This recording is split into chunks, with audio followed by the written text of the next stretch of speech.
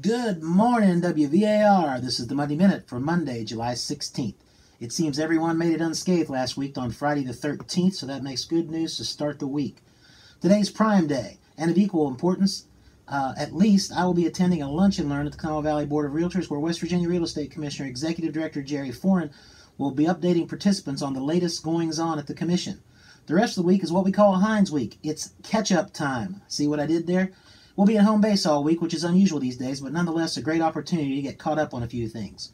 Realtor birthdays this week include Sally Hart, Patty Sherwood, Dawn Dotson, Kelly Droz, Megan Callahan Bailey, Kathy Haddix, Chris Coleman, and Sheila Rosier.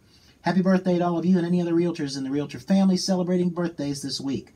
On the state scene, the House Judiciary Committee continued taking witness testimony in the impeachment proceedings involving the West Virginia Supreme Court of Appeals. On the national scene, all eyes and ears are on, the, on Helsinki for the much talked about summit between U.S. President Donald Trump and Russian President Vladimir Putin.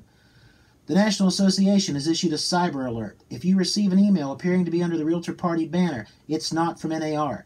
The email is a solicitation to help Jim with a financial donation. This solicitation is not from the Realtor Party or the National Association of Realtors. Please delete this email if you see it. The National Flood Insurance Program will expire on July 31st, denying necessary insurance coverage to homeowners and buyers in more than 20,000 communities nationwide.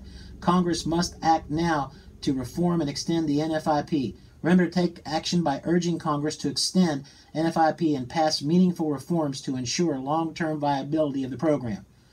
Remember to follow us on Twitter, like us on Facebook, and subscribe to our YouTube channel. That's it for this Monday Minute. As always, thanks for watching.